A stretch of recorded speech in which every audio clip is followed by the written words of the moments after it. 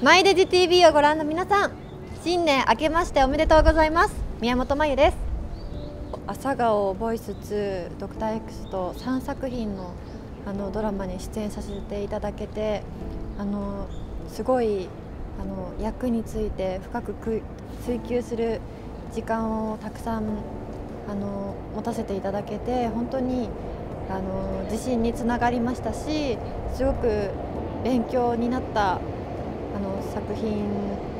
だったなとすごく思います。すごくあの皆さん俳優のあのキャストの皆様がすごく優しくてあのアドリブであの私たち研修医3人があの若い新人チームなんですけど今年からメンバー入りして新しいチームなんですけれどもその3人がこう少しでも目立つようにとアドリブにこう仲間に入れてくださってこう面白いシーンを一緒に作らせていただけたりとかして本当にあの素敵な方たちに囲まれて撮影をできていたなと思います。撮影中も本当にあの米倉さんの方からお話をしてくれたりとかもしたんですけど本当に毎回あの美味しいあの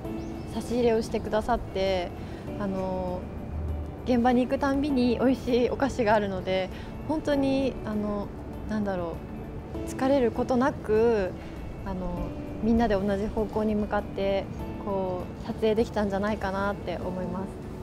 初めてキャンキャン全員で集まってあのキャンキャン40周年記念イベントをやったんですけれどもそれがすごく楽しくてあのすごいあの6年目にしてイベントができたっていうすごい楽しい思い出をあの作れたなと思います。えっと、本当にもう台本をいただいてからあの読み込んでいて原作の本も何回も読んだりとかあとは太宰治さんがどういう方だったとか主人公の和子があの本当に実在する人のこうことを書いてあるんですけどその方がどういう人生を歩んだとかそういうことを勉強しながら今台本を読み進めています。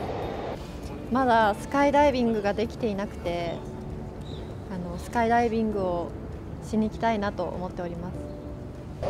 以上宮本真由でした。